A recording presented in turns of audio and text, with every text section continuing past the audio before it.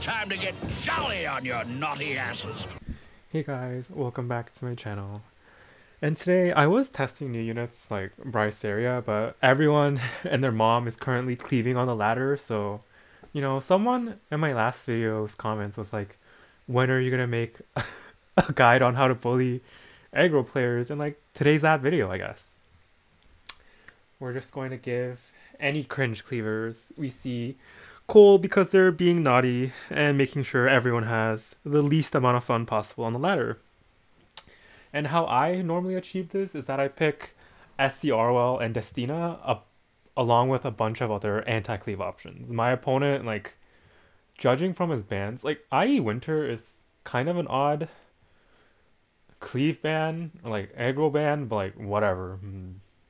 I'm not gonna think too deep about it, but they do like double down onto being really aggressive with Conqueror Lilias, Politis, and stuff. And this is where you would normally pick stuff like Edward, but uh, I unfortunately do not have Edward built. So that's kind of sad. I was contemplating on picking Flitica here because he didn't have good reach at the time but now he does. This is also a Rem angle, but my Rem is currently on Wyvern gear, so she is unsuitable for the job. I picked Designer Lilibet because they have a bunch of debuffs out the ass, and um, I'm thinking maybe I should pick like Aria or Shu, but then I just go with Sylvan Sage Vivian because his team doesn't really have great ways of dealing with Sylvan Sage Vivian either. But Sylvan Sage Vivian can definitely melt them back, so there's always that angle. And by the looks of it, I'm either going to ban Conqueror Lilias, Coweric, or this last pick. I'm not too threatened. Nobody else is crazy except for me to run the resource reduction EE on Zahhak, so I just safely ban out Coweric. And my opponent's going to ban out Destina or Dilibet, and yeah, they do. But this match, in my mind, is already won. Like you guys have experienced, Escort is a broken damage mitigator, especially if you pair with Adamant, which mine does. So I can already see it happening. My opponent is going to ram everything they have into Designer Lilibet, but due to Escort and the defense buff she's about to get, she's not going to be bothered at all. And I'm just going to cleanse up with Designer Lilibet and one-shot the rest of his team. Well, either she's going to do it or Sylvan Sage Vivian is going to do it. Like, Vigor makes his units kind of tanky to Designer Lilibet, so I can see her not one-shotting their team, but it might happen. And since my Designer Lilibet is on what's that thing called? Durandal or whatever, she'll eventually get pushed up, especially if she keeps getting focused like this. So now I just get to sit back, drink some water, and laugh as my opponent tries their best to kill Designer Lilibet, but fail because they don't have they don't have enough damage. It just feels good to be better and not a cleaver, you know? So yeah, they get real desperate and they, they literally use everything except for what's that thing called? Zeos S3 on Designer Lilibet.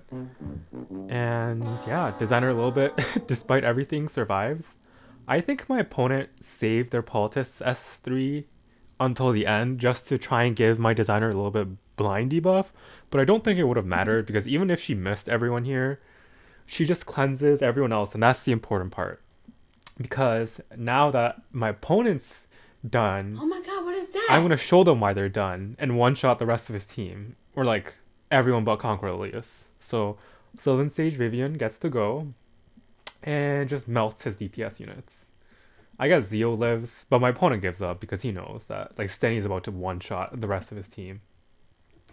Going on to the next naughty person this Christmas who deserves cool. We're going to pick SC Arowell here because they banned really oddly. So they banned Stenny and Briseria.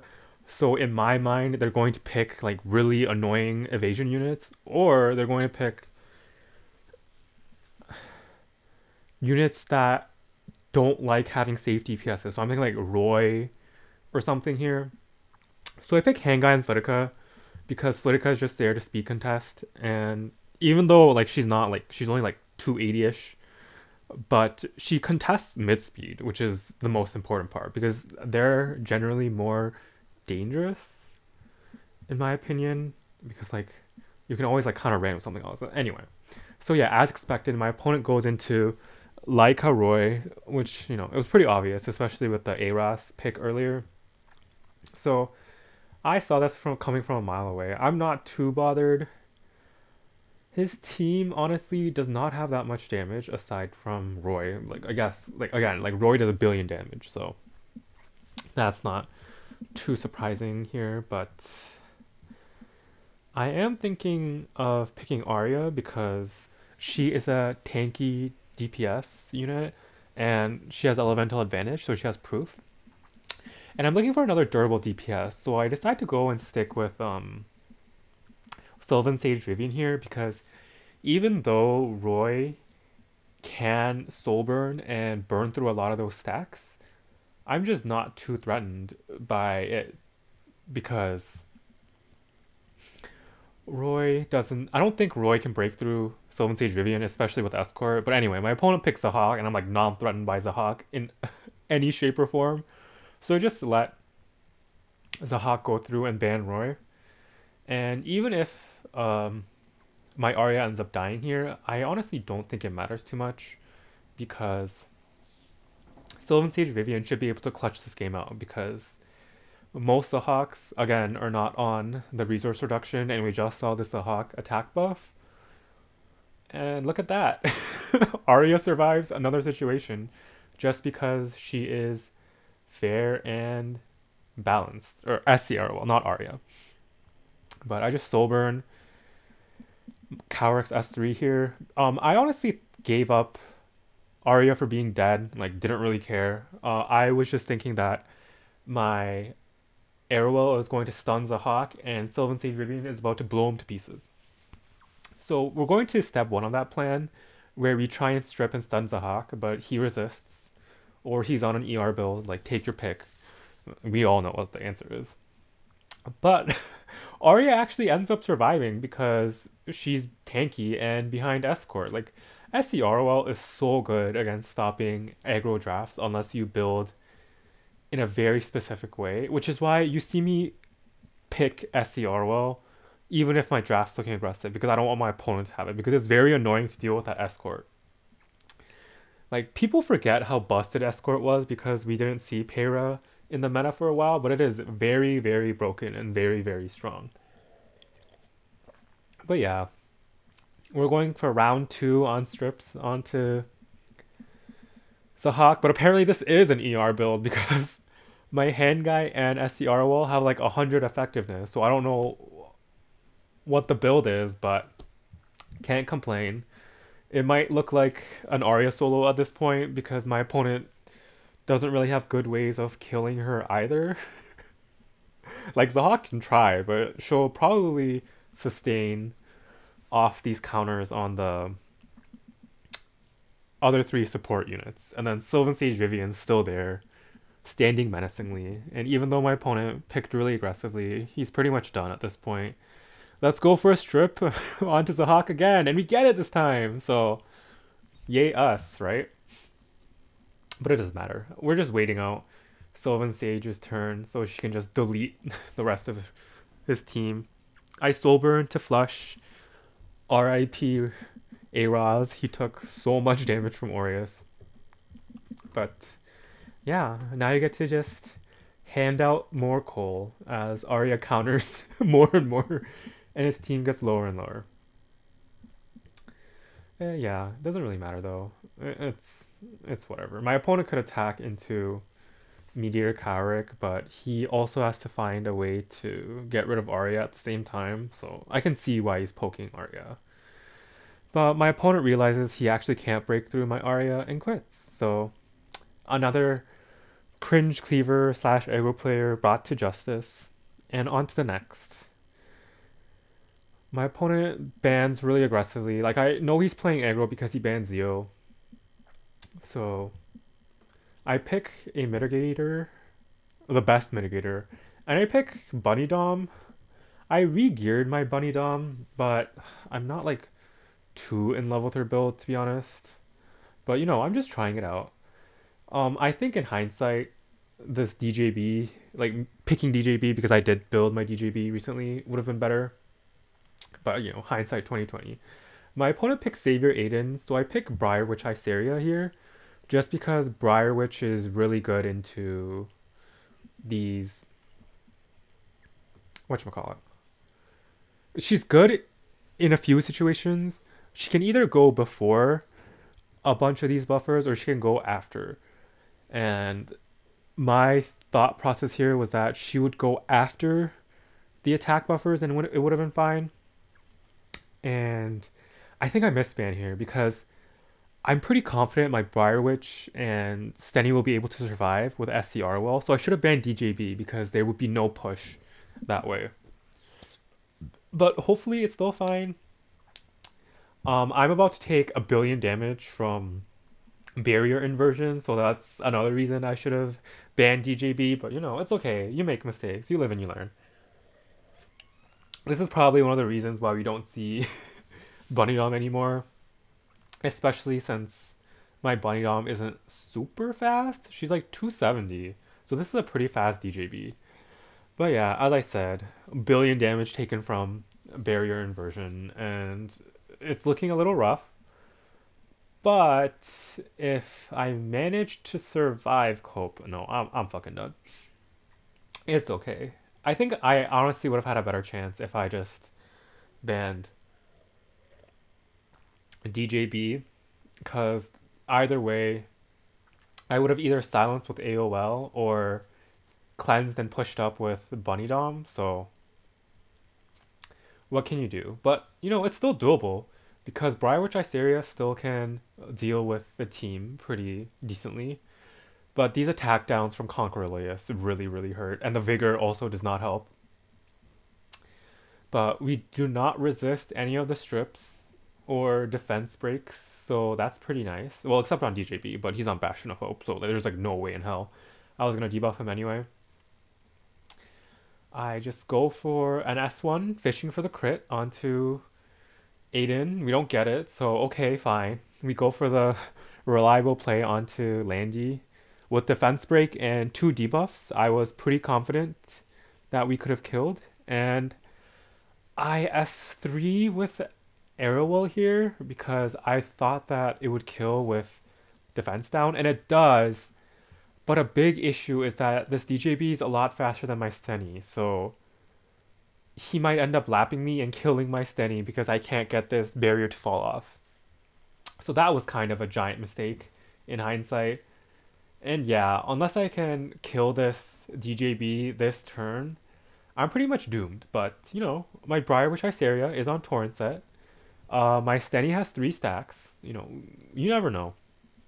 He doesn't have Vigor anymore. He doesn't have the defense reduction either. But again, yikes, that defense down is really hurting my Briarwitch's damage output, and the constant dual attacks from Conquer Lilias healing him up allow him to barely survive. So that's tragic. And it turns out that my opponent gives me coal instead of me giving it to him. Yeah, my Stenny dies. And if my Stenny didn't have the shield there, we might have been fine. But it's okay. Hindsight is 2020. In the next match, we find a aggressive player. You can tell because he banned well, escort, busted, buff, you know, yada yada. Same feel. But yeah. My opponent oddly picks APOC as a cleave anchor, I guess. Which I find pretty strange considering I could pick Light Aiden, but in the back of my mind, I was like considering like maybe this is a bait to try and get me to pick Light Aiden so he can pick like Briseria and stuff. So keeping that in mind, I decide not to pick Light Aiden, and instead I opt for Yulha for some mitigation. I think. Oh no, I pick Destina because Destina has big tempo swings with her S3, and I pick Aras for a more aggressive option. But I think that's a mistake. I think I should have picked Destina and Faithless Lidica in the last slot because Faithless Lidica would have protected me from the last two units, but it's okay. Uh, I was thinking of banning this APOC, but I think I have to ban this hand guy instead because I can theoretically CC him or like have death breaks with Aras, which I can't if hand guy's around. And I can worst case just silence this Ira because thinking about the speed tuning, there's no way this Ira should be slower than my Destina. Yeah. So Zio grabs first turn, like everyone expected this. So instead of silencing Conquer Lilias, I instead opt to silence and push back Ida because since Ida naturally outspeeds my team, pushing her pushing Conquer Lilias back doesn't do anything if Ida gets to S2, S3 for free anyway. So I allow Conquer Lilias to set up her annoying bullshit. And we just wait. It's kind of sussy though, because I don't have a good strip for this Briarwitch Iseria either. And if I do S3 with Destina here, I might get hit with unbuffable and defense break later, which is even more painful.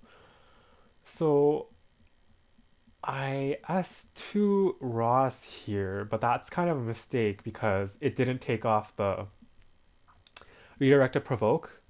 But I guess it allows him to not get killed by the defense break, so I have no regrets. I just S3 the Ida here. So there's no more reach for Steny outside of Briarwitch Iseria S3. So she's pretty much safe to just do her thing.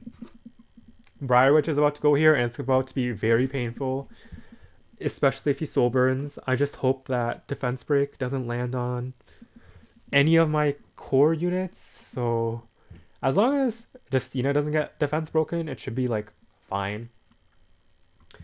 Uh Briarwitch Iseria also works against my opponent a little bit because even if APOC S3s, he's not gonna get Ida back. So I just have to kill this APOC before this Briarwitch dies. But during the match, I was kind of tunneling into Briarwitch Iceria because I was thinking about like what if my Destina S3s and that can bring the tempo back. But like during editing, like I realized I should have just not bothered and just killed APOC. But yeah, my Aras is on an effectiveness build to play aggressively into standard players who don't expect it. So we Soulburn again into Briarwitch Iseria, which is a mistake. If I got a defense break onto this APOC here, the game would have been pretty much done so because he would have been chunked and then I could just continue soul burning into him with Steny. But it's okay. It's okay. We should still be fine. Vigor wears off this turn for APOC, so hopefully my Steny Souls can break through this APOC even though he is on proof, so it might be a little tough. I test a soul burn into APOC, but I'm kind of not liking the damage. so I kind of chicken out and try to not hit APOC, but I hit APOC anyway. But it should be fine. Uh, we still have at minimum one turn before, one more Steny turn before APOC can potentially revive something with S3. So we're just waiting on that. My opponent oddly runs into Destina here, but I think my opponent was trying to save for a S3 target on APOC, but we know my A Roz is probably not going to survive too much longer, so just raw dog the S2, and with a defense break, APOC dies. And we punish another player for playing aggressively. Hooray, right? With Christmas magic on our side. uh, yeah. Anyway, for the last match, we're up against Horang? Hirang? I think I would pronounce it better if it was romanized, but whatever. I, I faced them before, and they are a cleaver, so I don't know why I picked Steny here. I feel like with the new balance changes, Steny first pick got a lot weaker, so that, that's something to keep in mind. But it's fine. We still have our old reliable in SC Arowell, and I pick Faithless Lidica just in case my opponent doesn't full on commit to cleave with SCROL.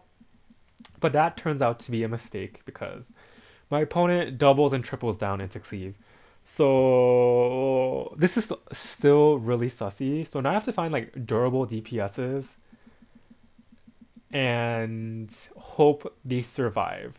So I'm currently thinking BBK is pretty decent. Destina's always good just for her S3 revive.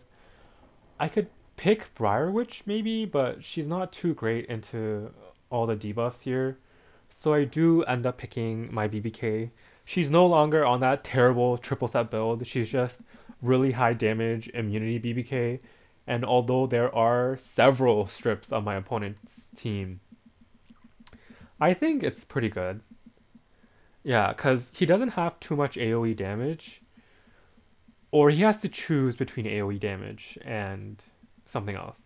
My opponent does end up banning Faithless Lidica just in case my Faithless Lidica is like 300 speed and speed contesting just be- because Zio can't actually control Lidica. So it all works out. Faithless Lidica, 300 IQ ban. As expected, Zio grabs first turn. He's either going to go into Airwell to strip Escort or try to, Destina to do damage, or BBK to ER check. But luckily, Escort stays intact, so I'm feeling good about this match. You can run TML into like Destina or SC Arowell, but again, we're sitting pretty. SC Arowell is just too good at stopping aggression just because she provides escort. She has a barrier at the start of the battle. She stuns and strips and provides a barrier. So that if you're having trouble with aggression, I would urge you to invest into either Destina or Ruele on a high ER build and SC Arowell, as well as some like few key DPS units like Sylvan Sage Vivian's pretty good. Um, what's that unit called? ML Celine's pretty good. Yeah, SC Arowell dies here, but it's pretty pretty okay at this point. I think that I'll be able to survive the onslaught of the damage, especially since BBK won't die here. Even though she might get pushed back. With the S2 bonus stats it gives, she should be able to just cut and delete the rest of his team. So my opponent S2 Destina here, and I think that is the right play because if she just reset the BBK and stripped her, my Destina could just bring back Stenny, and then he would have a lot of DPSs to suddenly deal with. But yeah, I decide that TML is the higher damage threat and kill her, but I don't think it mattered too much. My BBK does have some bulk, so she should be able to survive this, and she does. And we're able to give out the last piece of coal to the cringe cleaver. Oh, it's not the last one. We have another game after this. Oops. Sorry. I lost track of time playing RTA yesterday. Like, I played like 20 games, and about like three quarters of those were against Cleaver. Then I was like, oh, God, dude. My opponent this game picks Sage, bans Sage Baal and Bellion. So again, I can tell he wants to play aggressively. So that's why I ended up picking Zio, just to speed contest. And my opponent does pick Wander Silk here for a speed imprint, which is kind of like not great. So I need a way to deal with this Faithless Lidica because right now we don't have too many great options. Uh, we're pretty much covered on the Aiden front. I should have picked Yulha as a mitigator plus Aiden deal with her eventually, but you know, what can you do? My opponent also does not have great options into Spec Tenny because he has so much single target. So I pick Stenny here because theoretically, like, she can also deal with Aiden if my other DPS units don't survive. And excuse me. She does provide like a safe DPS option so I either ban Wander Silk here for speed contest or I ban Ran. Like this Ran is going first 100%, but he might kill my Stenny. So that's what I was worried about. But I'm pretty confident that my Conquer Lilias can outspeed most Faithless Lidicas. So yeah, we just have to hope that this Ran isn't built on Omega damage and is cash. Or else we lose.